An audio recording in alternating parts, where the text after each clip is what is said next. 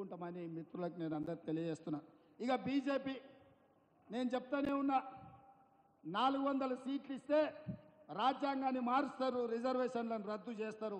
అందుకే నాలుగు వందల సీట్లు అడిగితే వాళ్ళు అడుగుతున్నారని. నిన్న మన కిషన్ రెడ్డి బండి సంజయ్ అన్నాడు రాజ్యాంగం మారుస్తామని ఎవడని అంటే వాడిని చెప్పుతోని కొట్టాలని. నేను ఇప్పుడు ఈ వేదిక మీద నుంచి బండి సంజయ్ కిషన్ రెడ్డి గారిని అడుగుతున్నా భారతీయ జనతా పార్టీ జాతీయ ప్రధాన కార్యదర్శి దుష్యంత్ కుమార్ గౌతమ్ అనే వ్యక్తి మీ భారతీయ జనతా పార్టీ ప్రధాన కార్యదర్శి జాతీయ స్థాయిలో ప్రభుత్వం వచ్చిన వెంబడే రాజ్యాంగంలో ఉన్న ప్రియాంబుల్లోనే మార్పులు చేస్తాం రాజ్యాంగాన్ని మారుస్తామని నిన్న ఇంటర్వ్యూ ఇచ్చిండు. ఈనాడు ఈరోజు ఈనాడు పేపర్లో ప్రముఖంగా తాటికాయంత అక్షరాలతో వచ్చింది ఇన్నాళ్ళు నేను చెప్పింది నేను చేసిన ఆరోపణను మీ బీజేపీ జాతీయ ప్రధాన కార్యదర్శి దుష్యంత్ కుమార్ గౌతమ్ స్పష్టంగా అధికారికంగా బీజేపీ అధికారంలోకి వచ్చిన వెంబడే రాజ్యాంగాన్ని మారుస్తామన్నాడు. ఇప్పుడు ఎవరిని చెప్పు తీసుకొని కొట్టాలని అరగుండును గుండు నేను అడుగుతున్నా. ఇవాళ నిజామాబాద్లో గుండు ఉన్నాడు కరీంనగర్లో అరగుండు ఉన్నాడు.